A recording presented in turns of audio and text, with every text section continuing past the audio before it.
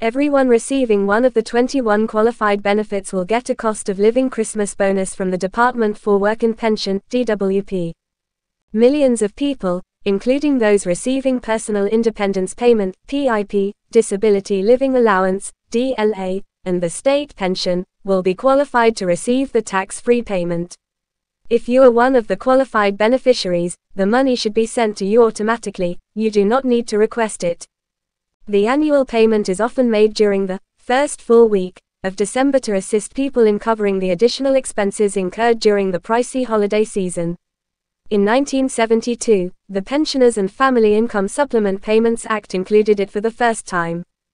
The incentive has been £10 for the past five decades. But in 2008, the amount was raised to £70 in order to help people through the financial crisis. The payment has drawn criticism over time.